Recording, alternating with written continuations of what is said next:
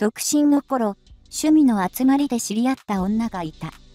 私は、その女と仲良くしたくなかったけど、その女は、ことあることに、私に寄ってきて、私の身体的なことを、ネタに笑いをとっていた。その身体的なことは、整形でもどうにもできなくて、ものすごく悩んでいたことなので、本当に悲しくもあり、怒りが湧いた。その他にも、私が一度転職した時、あんたってさ、落ち着きないよね。どこへ行ってもダメなんじゃない？次の日曜は一人で過ごすと言った時、あんたって友達いないもんね。給料前で節約している時、いつもケチケチしてみっともないなどなど言ってくれた。実際は、転職は私の自己都合だけど、転職先では同僚、上司に恵まれて、なおかつ、やりがいのある仕事だった。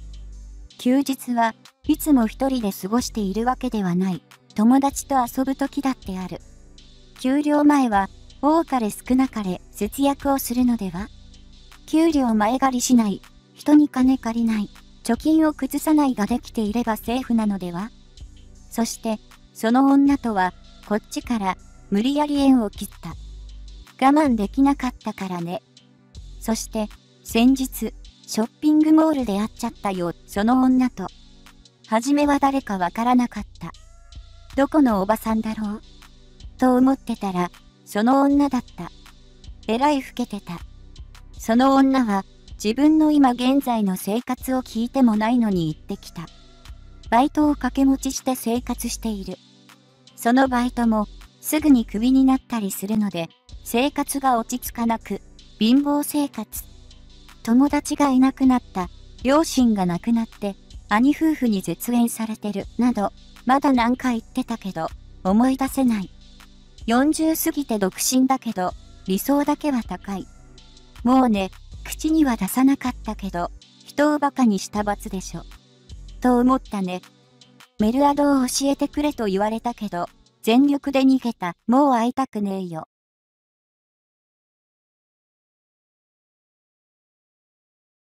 会社に来た派遣のおっさんがすごかった。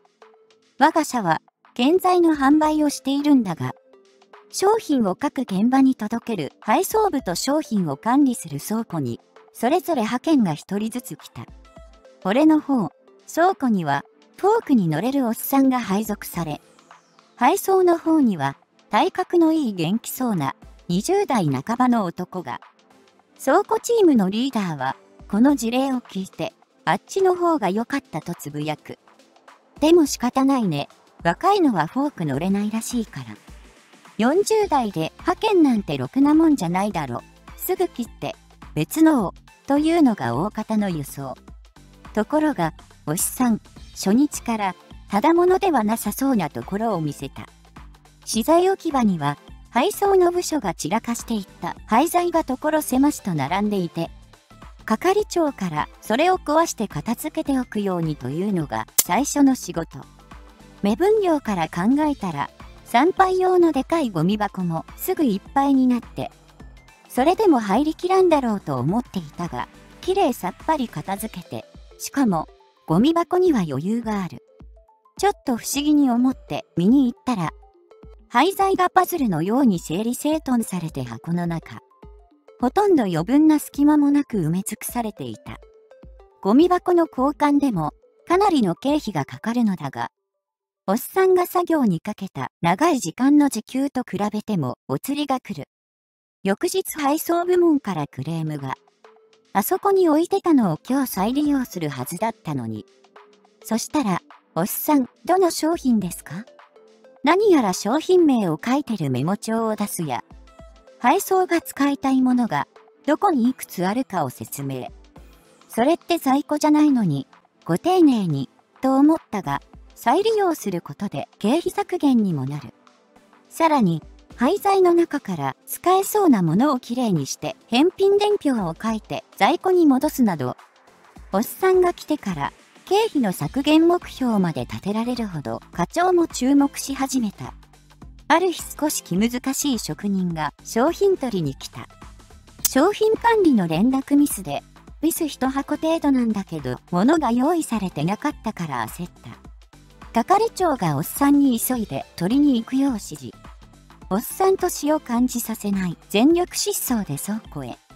戻ってくるまで5分くらいとはいえ、客を待たせてこっちはヒヤヒヤだったが、おっさんは全力で走って戻ってくると、職人にお待たせしましたと、にこやかに箱を手渡した。気難しい職人も思わず、ふっと笑いを漏らし、俺らはあの人でも笑うのかと評判になったほど。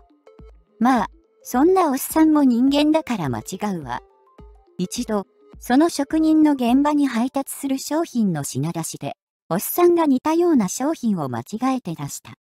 職人は、ガンガンに怒って倉庫に取りに来たんだが、神妙に頭を下げうなだれるおっさんとそれを叱る係長を見て、係長に、そんなに怒ることねえだろ。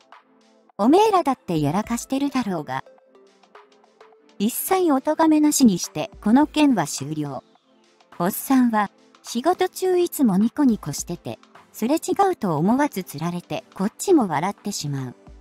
一方の若いのは建材運びの激務に耐えきれず3ヶ月で辞めていき、手薄になった配送は慌てておっさんの移籍を要求してきた。こんな形でおっさんが倉庫からいなくなるのかと複雑な気分。勤務時間は8時からだが、おっさんは7時に会社に来て、その日の荷物を確認すると、自分でフォークリフトを動かして積んでしまい、8時には余裕の配送スタート。今までは8時に若い派遣が倉庫に来て荷物出るまでうろうろだったから、仕事の効率も格段に上がった。派遣は基本的に平日のみ勤務だが、おっさんは土曜日も仕事があれば喜んで出てくる。稼げるからなんて言ってるけど、体力がよく持つなぁと感心した。朝はゆっくりだし、7時に来てるのに日曜休みだからそりゃ当たり前だ。と言ってるんだが、つまり、おしさんは、すごいブラックで鍛えられてきたことを笑いながら語ったものだ。さらに、派遣の立場もわきまえてか、自分の息子みたいな新入社員にまで腰が低く、さんつけ。若い社員にタメ口聞かれて、自分は敬語で返してるから、卑屈も通り越すと超人格者にしか見えん。おっさんが3年の派遣期間を耐え抜き、入社試験を優秀な成績で切り抜け中途採用される。実は結構いい大学を出てからある企業で支店長にまでなり、しかし会社からは都合のいい奴隷、つまり名ばかり管理職になって鬱になって退社したとは人事部からの情報。ニコニコの裏側はそんな悲惨な世界だったのか。おっさんは自分の後から倉庫に入った別の派遣の中途採用も自分のことのように喜んでいた。この中年二人の新しい人生に乾杯。